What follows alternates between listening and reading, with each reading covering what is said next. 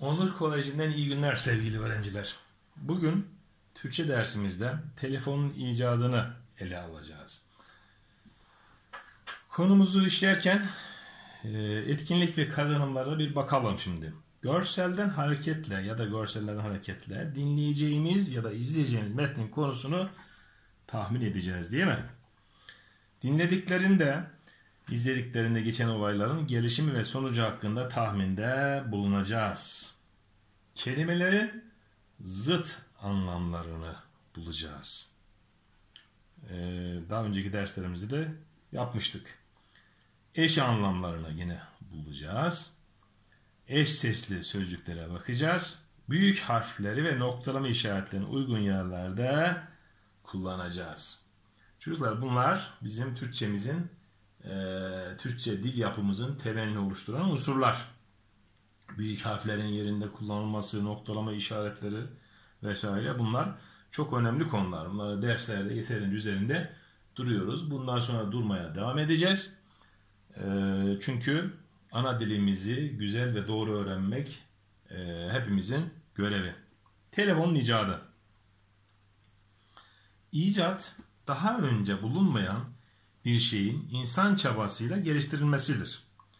İcatların çoğu daha önce var olan teknolojinin yeni ve benzersiz, biçimde bir araya getirilmesinin sonucudur.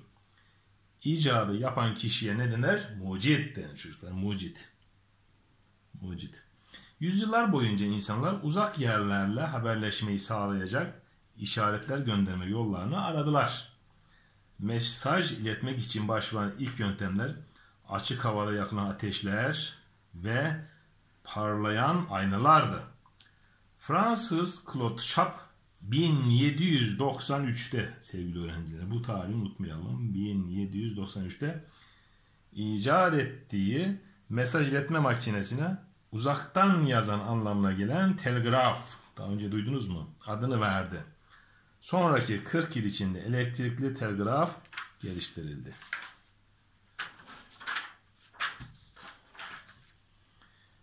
...1876'da Alexander Graham Bell ilk kez konuşmayı teller aracılığıyla iletmeyi sağlayan telefonu icat etti.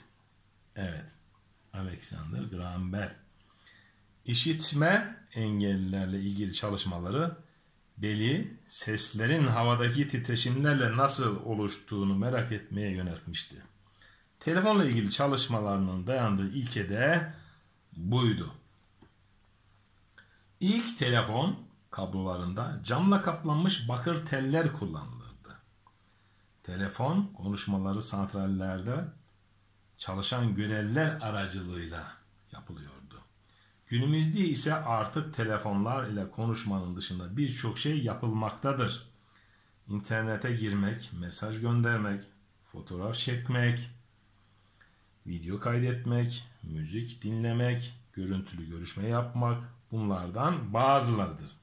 Artık telefon sadece telefon değildir. Görsellerimize bakalım çocuklar. İşte bir telefon şekli ilk telefonlardan. Bu da aynı şekilde. Ee, şunlar daha günümüze yakın olan görseller. Bu da en son kullandığımız cep telefonu. Evet cep telefonu haberleşme amaçlı, iletişim amaçlı kullandığımız zaman dünyanın en iyi icatlarından bir tanesi. Ancak bunun e, aksini kullanırsak, tersini kullanırsak e, başımıza çok çeşitli e, kötülüklerin gelmesine maalesef neden olabilir.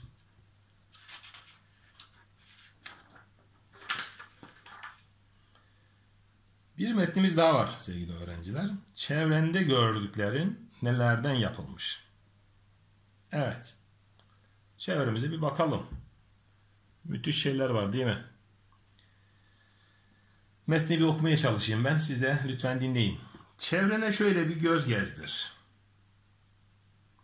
Gördüklerinin nelerden yapıldığını hiç merak ettin mi? Çevremizde gördüğümüz, çevremizde gördüğümüz her şey çeşitli malzemelerden yapılmıştır sevgili öğrenciler. farklı nesneleri yapmak için farklı malzemeler kullanırız. Metal, metal, metal, plastik, kumaş, cam, kağıt ve tahta her gün kullandığımız eşyaların yapıldığı malzemelerden bazılarıdır. Su almak için metalden yapılmış musluğu açarız. Bakın metalden yapılmış musluk. Dişlerimizi plastik bir diş fırçasıyla, plastik bir diş fırçasıyla fırçalarız. Önce teneke kutulara, çocukların giydiği renkli tişörtlere ve kitaplara bak. Sonra metal, pamuk bitkisi ve ağaçları incele. Bakalım hangi nesnenin hangi malzemeden yapıldığını bulabilecek misin? İlginç bir yazı değil mi çocuklar? Evet, musluk metalden, e, saç fırçası plastikten, diş fırçası efendim plastikten yapılmış işte bardak camdan cam eşyadan yapılmış değil mi? Demek ki metalden, plastikten, camdan, kağıttan ve tahtadan e, çeşitli eşyalar yapılmakta.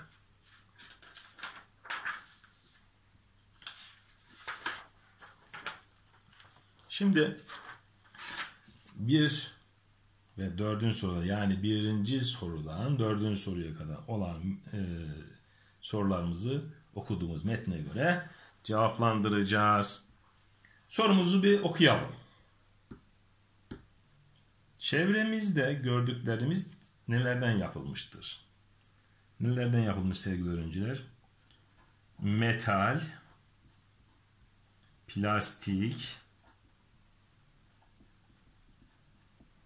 metal, plastik, kumaş, elbiselerimiz, değil pantolonlarımız, kızların etekleri, e, cam, işte bardak, ondan sonra cama, çeşitli süs eşyaları, e, kağıt, kağıt ve tahtadan yapılır ve tahtadan yapılır. Çevremizde hangi malzemeden yapılmış eşyalar var? E, bir baktığımız zaman e,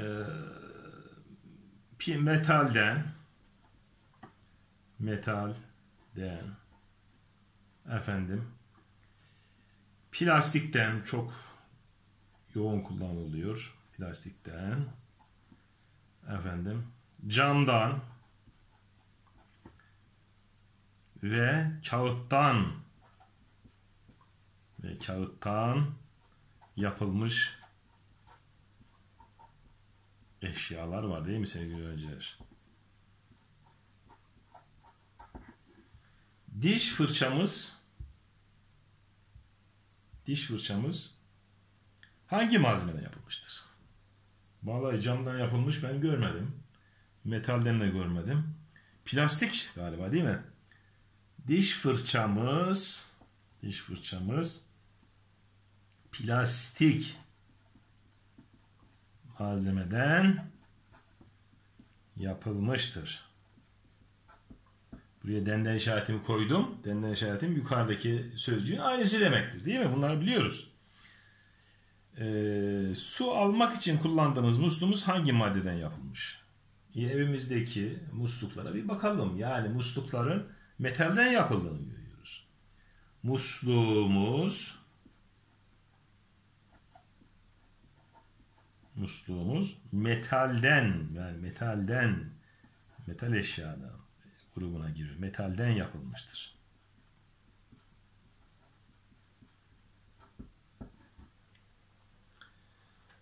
Şimdi buraya kadar anlamadığınız bir husus yok sanırım. Beşinci sorumuz görev kelimesinin eş anlamlısı aşağıdakilerden hangisidir? Görev, meslek, vazife, gövde. Evet, biraz meslek diyenler var ama doğru cevabımız o değil. Gövde hiç olmaz çocuklar. O zaman göreve uygun eş anlamlı sözcük burada nedir? B şıkkında olan vazife sözcüğüdür. Vazife sözcüğüdür değil mi? Elini yüzünü yıkadı cümlesinde kaç tane sesleş kelime vardır? El ve yüz sözcükleri değil mi? İki tane. Aşağıdaki cümlelerin aşağıdaki cümlelerden hangisinin sonuna soru işareti konmaz? A. Bugün hava nasıl olacak? E, burada bir soru soruyor değil mi çocuklar? Benimle oynamak ister misin? Arkadaşına bir soru soruyor. Diyor ki benimle oynamak ister misin arkadaş? C'ye bakalım okula nasıl gideceğimi öğrendim. Burada C sözcüğünde bir soru söz konusu değil. Ne söz konusu? Bir yargı. Yani bir şeyi sormuş daha önceden ama öğrenmiş. Yani onu öğrendiğini ifade ediyor. Soru sormuyor. Burada soru işareti konmaz dediğine göre C şıkkına soru işareti konmaz. Ne konur? Nokta. Nokta işareti konur. 8. Öğretmen nazik davranışlarından dolayı Ayşe'ye teşekkür etti. Yukarıdaki cümlede verilen altı çizili kelimenin eş anlamlısı hangi seçenekte verilmiştir? Nazik. Nazik. Türkülere de yansımış bir sözcüktür bu çocuklar. Uslu. Hayır. Uslu biliyorsunuz akıllı anlamı taşır. Akıllı anlamını taşır. Kaba. Bu sözcüğü hiç kullanmayalım. Kötü bir sözcük. Ee, kaba yani uygun hareketler, uygun davranışlar sergilemeyen insanlara kaba denir. Nazik sözcüğünün efendim ee, eş anlamlısı kibar sözcüğüdür. B şıkkı Bursa. Aşağıda kelime çiftlerin hangisinde ayakkabı, pabuç kelimelerine benzer bir anlam ilişkisi vardır. Ayakkabı ile pabuç biliyorsunuz. Hangi grup sözcüklerimizdi bunlar? Eş anlamlı. Eser yapıt, gece gündüz, gazete dergi.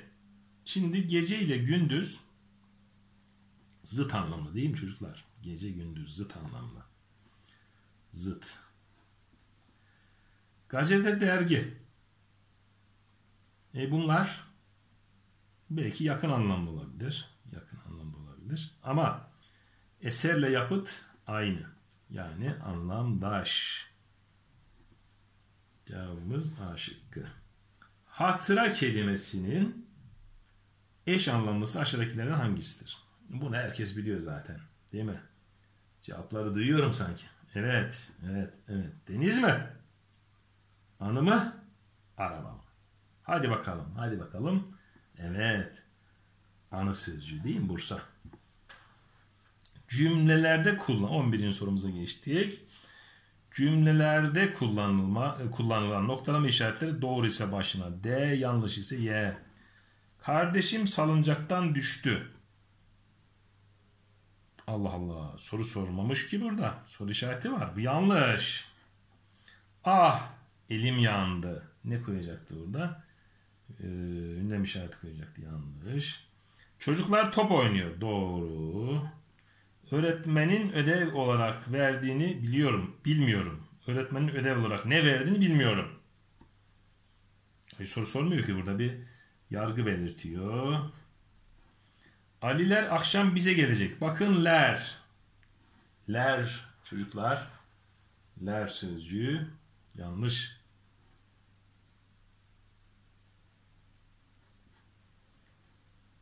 Yaşasın sınavı kazanmışım. Bir daha buradan geçmeyeceksin. Evet bu da yanlış.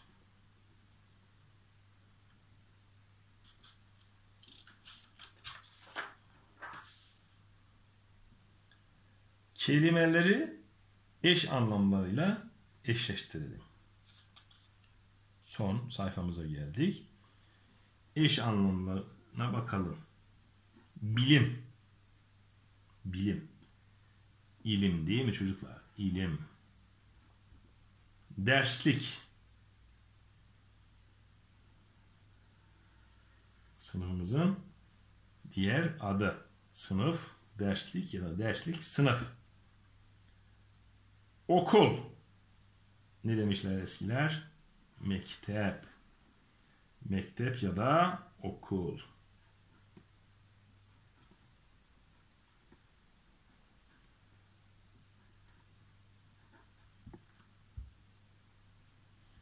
Öğrenci. Talebe.